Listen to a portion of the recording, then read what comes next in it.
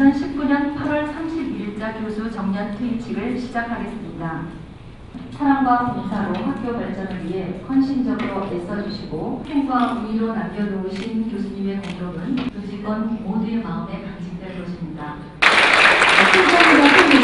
예, 숙명에 숙명적으로 교수님으로 오셨고 교수의 직분은 교육과 연구와 봉사와 숙명이 잘 되기를 위해서 한결같이 주어진 명령과 특징과 여건 아래서 세 분 모두 너무 많이 노력을 하셨을 거라고 생각합니다.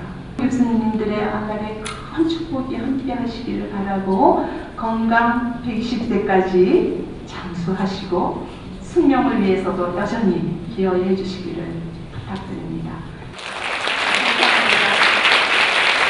저희 활동이 가능했던 것은 모두가 우리 숙명의 에, 자유롭고 자율적인 분위기 때문이었다고 생각이 됩니다.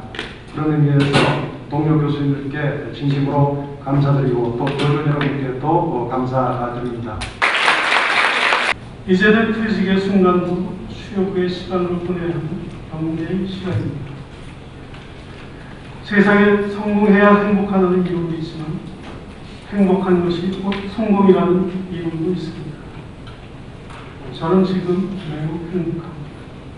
제가 성공해서 행복하기보다는 매일매일 삶이 즐겁고 행복해 성공한 것이라고 여겨집니다.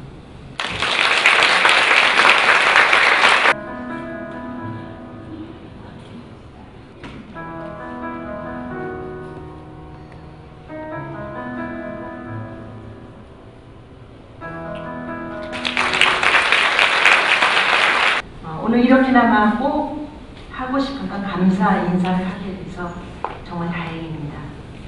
그동안 도와주셔서 정말 감사했습니다. 우리 학생들은 나의 영원한 기쁨이요 자랑거리입니다.